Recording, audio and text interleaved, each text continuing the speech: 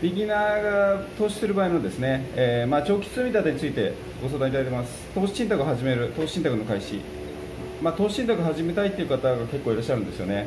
まあ、投資信託を始めるにはということなんですけども、まあ、とにかくですね、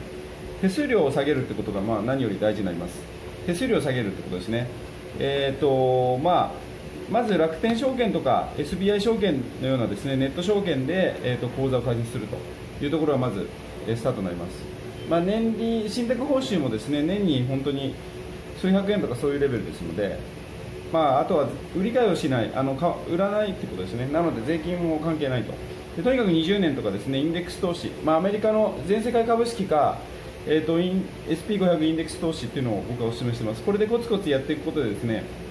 あの20年とかそういうスパンで、えー、やっていきます、えー